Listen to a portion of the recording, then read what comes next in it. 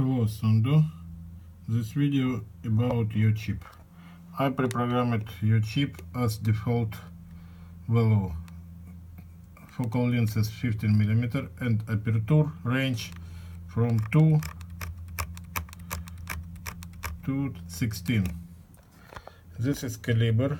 This is special plate for installing on adapter. This is glue.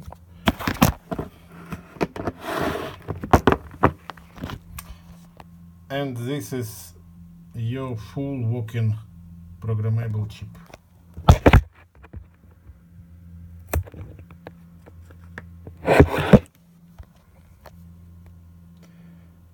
Now I packaging your chip and sending to you. Thank you for your attention